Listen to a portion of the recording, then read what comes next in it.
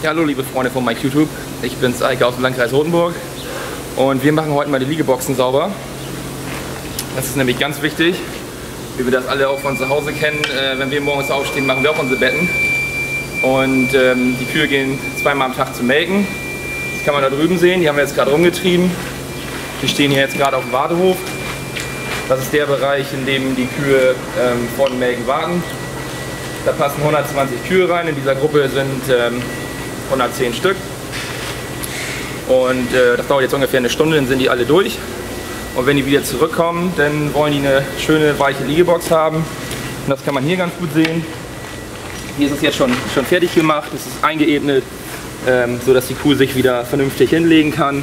Ähm, dass sie gereinigt ist, das heißt, dass sie die Scheiße, die die Kühe in die Boxen gemacht haben, dass sie rausgemacht wird und dass es ein bisschen wieder eingeebnet wird.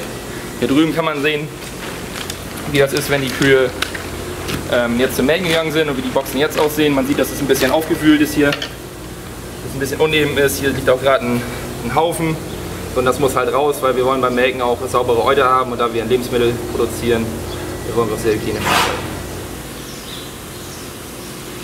So, jetzt haben wir gerade die Liegeboxen sauber gemacht und alle zwei Stunden fährt unser Schieber hier durch.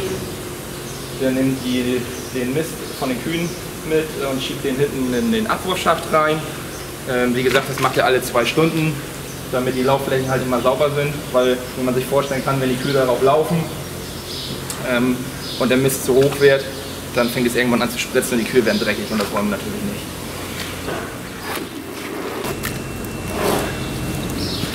Ja, und wo wir jetzt gerade wieder bei den Liegeboxen sind, ähm, in den Liegeboxen bei uns liegt Häckselstroh.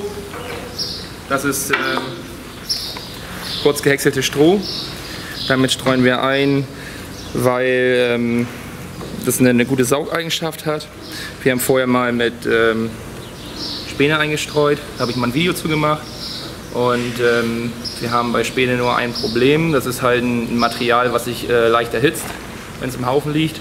Und dadurch haben wir einen Bakterienstamm, das sind, sind Kolibakterien, die äh, Euterentzündung äh, hervorrufen können. Und deswegen haben wir uns für Stroh entschieden, weil Stroh ist, äh, ist, halt auch ein organisches Material, aber auf dem sind lange nicht so viele Bakterien vorhanden.